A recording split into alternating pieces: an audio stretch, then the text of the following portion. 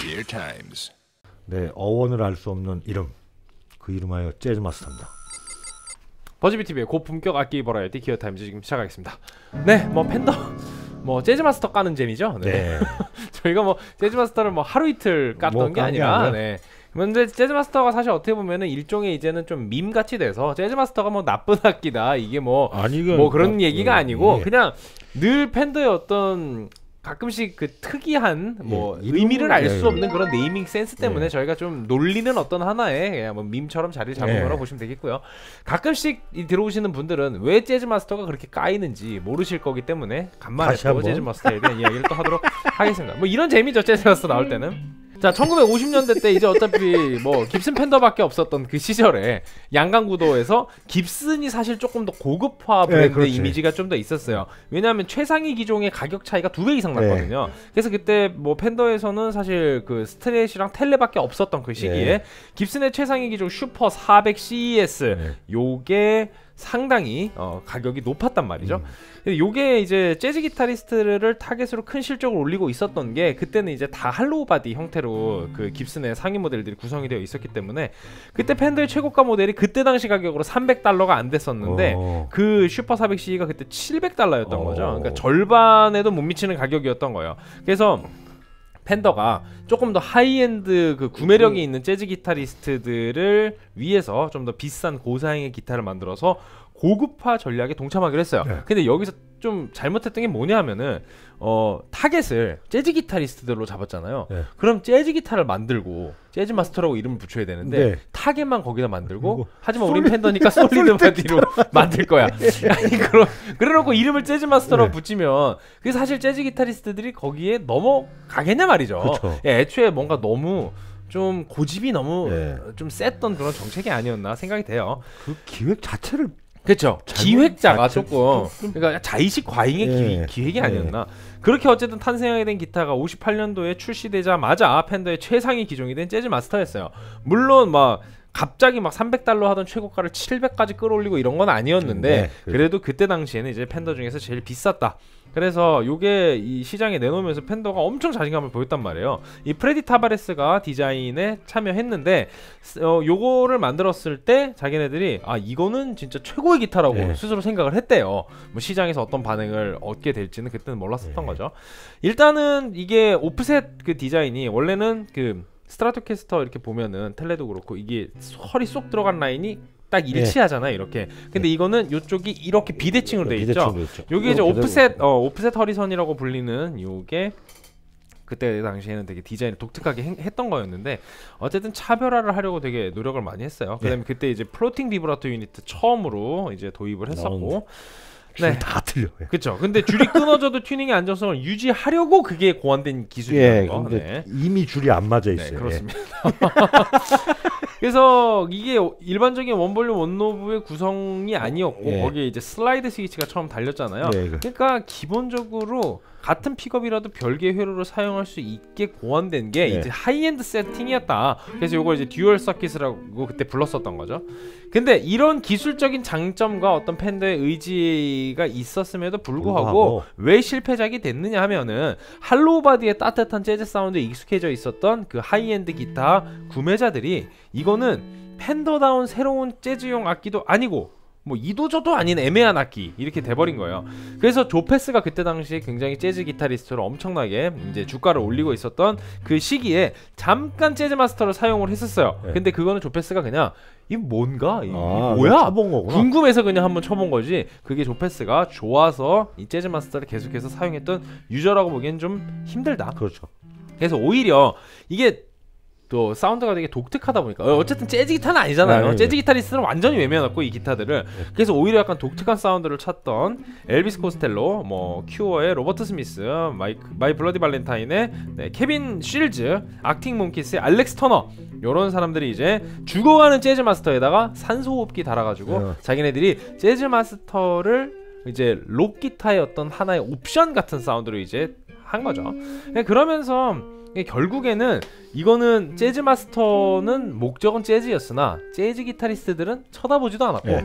되게 특이한 톤을 찾던 락 기타리스트들에 의해서 굉장히 마니악한 어떤 네. 하나의 별미 같은 느낌으로 자리매김을 하게 되었다. 예. 그러면서 이제 또 이제 재즈라는 이름 빼고 제규어 나왔는데 그, 그것도 마찬가지였어요. 마찬가지. 뭐 똑같이 외면당하고 예. 재즈 마스터랑 제규어랑 그런 어떤 팬더의 최상위 모델 정책에 J 시리즈로 나온 거군요. 네 재즈 재즈랑 재규어랑 예. 아무 관계도 없는데 그냥. J로 시작하는 거 아무거나. 대박. 뭐 이렇게 해갖고 그 두 개를 다 말아먹고 결국에는 거의 그걸 살려준 게 커트 코베인이었다. 아, 네. 예. 커트 코베인이 그 두 개의 기타에 거의 뭐 산소호흡기를 네. 이렇게 딱 쌍으로 물려가지고 사람들이 야 저 기타 뭐야 좋네. 야, 근데 지 이름은 삼십- 왜 재즈 네, 마스터야 네, 저건 막 이렇게 되면서 죽은 지 30년 만에 살려낼 수도 있군요. 네, 그렇습니다.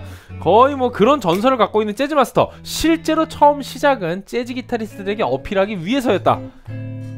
자, 오늘 재밌는 Jazzmaster 이야기 다시 한번 해봤습니다. 네. 자, 60년대 Jazzmaster Sonic Blue 모델입니다. 색깔은 되게 예쁩니다. 네. 그렇습니다.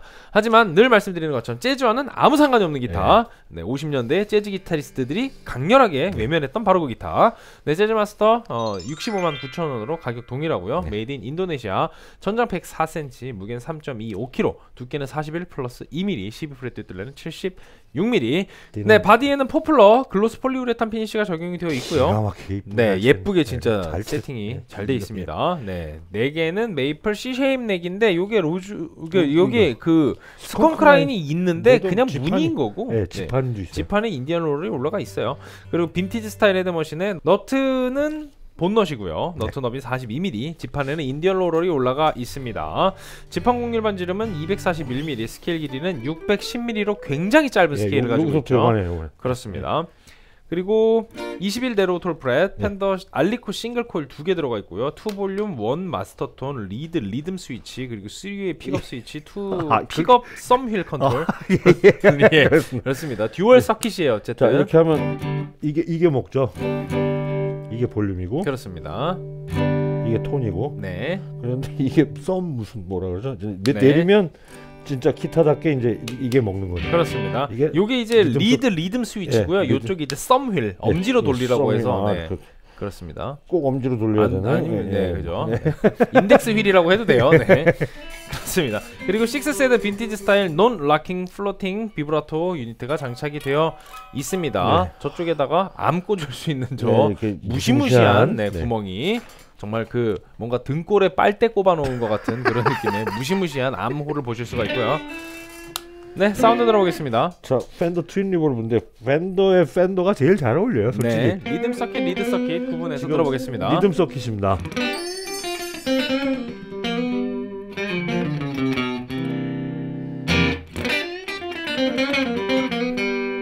자 리드로 넘어가면 이제 여기가 기타로 되는 거죠. 네. 빡빡 오죠.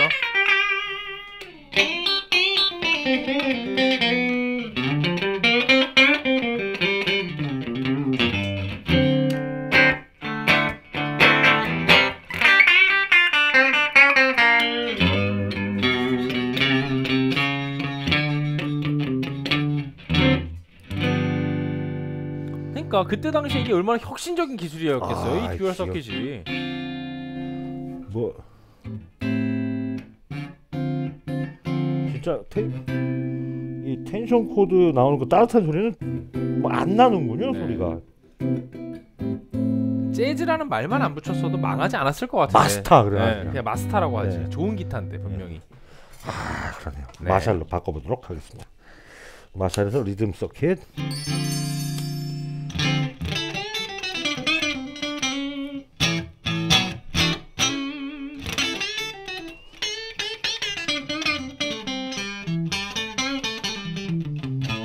벤처스 악단에서 이제 그 두 번째 그 리듬 기타 치시는 분이 재즈 마스터를 가끔 쓰시는데 내리질 않아요. 음, 계속 리듬에다가.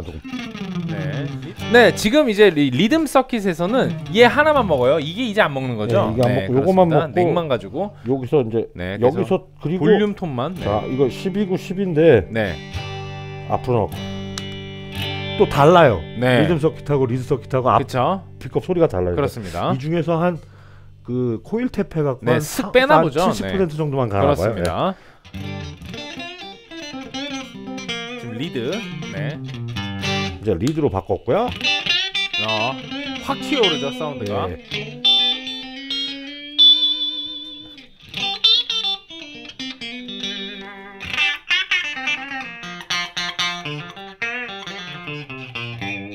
비닐로 구겨지는 소리 말고 뭐라 그래? 그 알미늄 찢어지는 소리?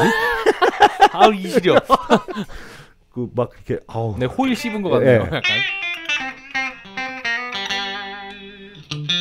어이구 음.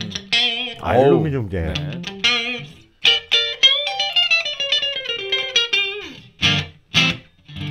어 좋았다. 음. 자 팬더의 레드락인데요. 어, 뭐 이렇게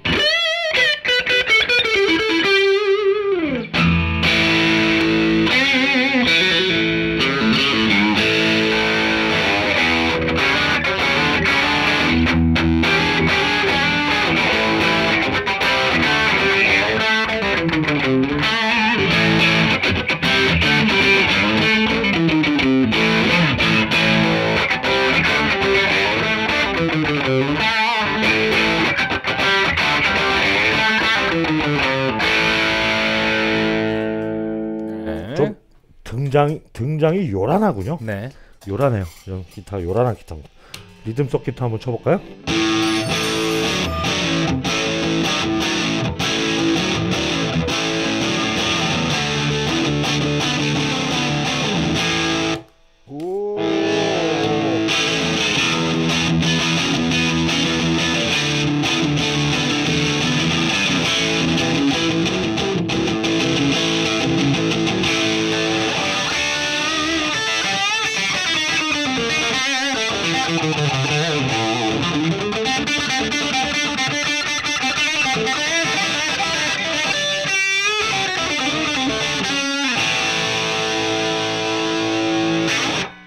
오, 요란해. 다채롭네요. 주인공의 성향은 분명히 있는 기타예요. 네, 반주 묻혀서 들어보겠습니다.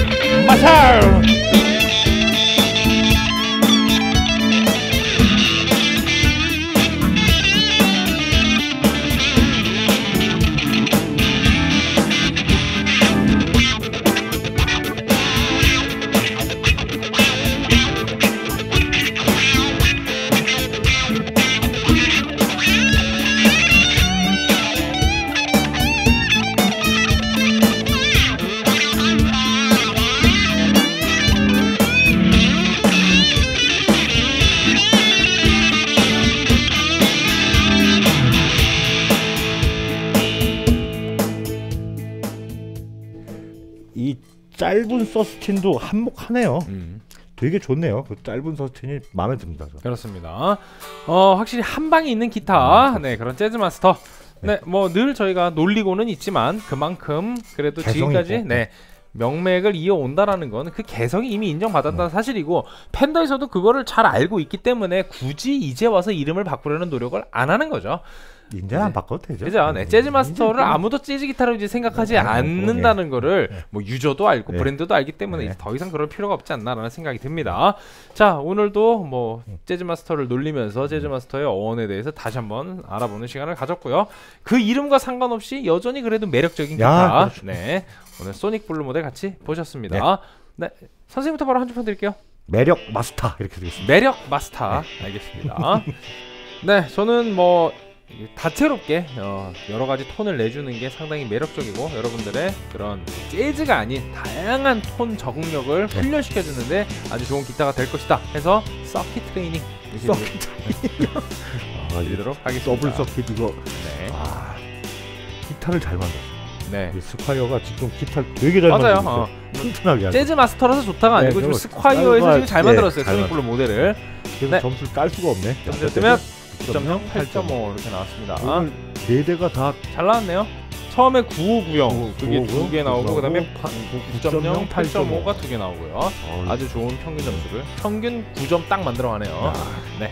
오늘 스콰이어 여전히 건재함을 또 과시하고 아직까지도 가성비의 대표 모델이다. 내가 가성비의 대표 브랜드다. 이런 것들을 또 증명해주는 그런 시간이었던 것 같습니다. 다음번에도 또 스콰이어의 빈모라든가 Affinity라든가 네. 빈모. 아 Vintage Modified. 네, 그런 또 모델들 어, 아직까지도 계속 건재한지 또 나오는 대로 저희가 전해드리도록 하겠습니다. 네, 유튜브 구독과 좋아요는 저에게 큰 힘이 됩니다. 기어 타임스.